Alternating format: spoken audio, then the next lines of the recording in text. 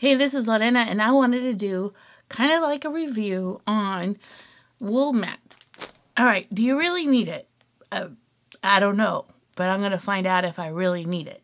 I ended up buying two, and I ended up buying one on Amazon because I wanted to know if there was a difference in quality. I don't know. I thought it would be cheaper, but I also bought one at a quilt store. I bought this one. It's a 13 and a half by 13 and a half pressing sheet. It's from a company called Kenley. I got it at Amazon. I'll link it below. I ended up paying probably $27 for it. I believe it's about an inch and a half in width. So it's a pretty thick mat. They also state that the fabric will not shift on you on this mat when you're ironing it. Whatever fabric it is, it'll stay in place. They also say that uh, the natural fiber preserves the heat and, and as well as allowing the top and bottom of the fabric to heat simultaneously. They use the word simultaneously. Can you imagine? All at once. This is 100% wool. Now, I also got one at Cactus Queen's Quilt Store. It's on McKinney, and I love the people that work there. They're just such neat people. Theirs is 100% felt wool. It says it retains heat, and it presses on both sides and you can use with iron with steam or no steam. And this is a 12 inch by 12 inch and I also think that it's not a half inch. It's maybe 3 eighths thick. I don't think it's a half inch. It doesn't feel as thick as the other one. Now of course since I'm doing a comparison I'm just going to use my regular ironing mat. It's a self-made mat. It's not fancy like this wool stuff. See if the mat really makes the difference. All right. Now, I want to just give like a little side note. If you're allergic to wool, don't buy it. You'll be itchy and stuff, you know. I have a friend of mine, she's allergic to wool, so this would not be for you. But if you don't have allergies or anything, it, it, you'll be all right. So I got two quilt blocks here that I'm just crushing the bejesus out of brushing a quilt block to see if the wool mats make a significant difference in comparison to a regular mat that I personally use on a daily basis because I love it. Okay, so yeah. So here's my crushed up uh, quilt block that I'm going to open. And it says steam or no steam. It doesn't allow the block to move at all. Look how you see the block kind of sitting in and it crisps it up real pretty. So it does get wet from the steam and it has a weird, it has a smell to it, okay? It has a wool smell to it.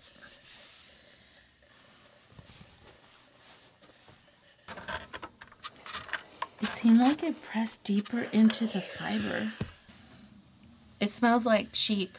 Oh. And there's not that much water underneath. I don't feel that much moisture. And to be honest, it seemed like it pressed deeper into the fiber. Uh, I don't know if you can tell, like, this is the side where I'm using this mat you could tell that the ironing is cleaner than you can still see some wrinkles on this mat. Which one I like the best? I think they're both great mats. They both do what they say. You don't, you can't shift the fabric. They do heat on both sides simultaneously, however they say it. Both, when you're pressing with a lot of steam, the steam does go through both mats after a period of time. But let me just share something that I found kind of a con. These wool mats have a smell to them. They smell. They smell like wool, um, and when they're wet, they smell more. Like when you're steaming on them, there's more of a scent to them. Now, the one I bought at the quilt store, I like the way it pressed. It pressed crisper. It seemed like I didn't have to iron as much on this one, but this had a more pungent smell when it was wet. You could really smell it. Now, they're both exactly the same price. I paid about $27 and change. But I really do like the Amazon one because it's thicker. You have more space to press. It's thicker in comparison to this one and it doesn't have as much of a smell comparison to this one.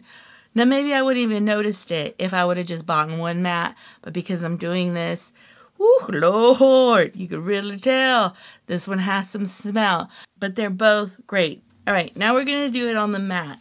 This mat has a, a layer of fusible interfacing, a Thermoflex heat absorber, and a layer of batting and fabric.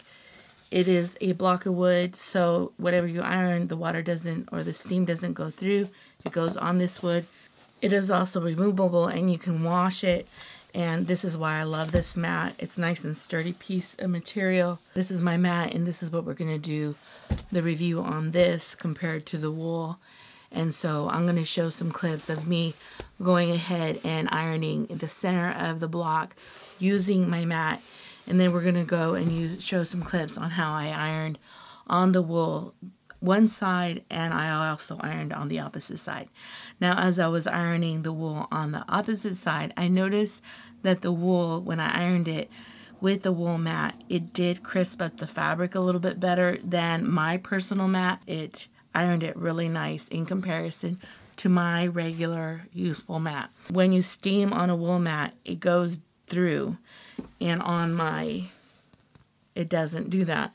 So I kind of like my own mat more. I would probably prefer it more unless I could put a block of wood underneath the wool mats. Um, but I like the way the fibers get crispier. Now another con on the wool mats. I was smelling my quilt blocks. They smell like the smell of this wool the the my blocks now smell like this material. And with my mat it doesn't have a smell. If you don't have a mat that you really love like I love mine I would buy a wool one and try it out.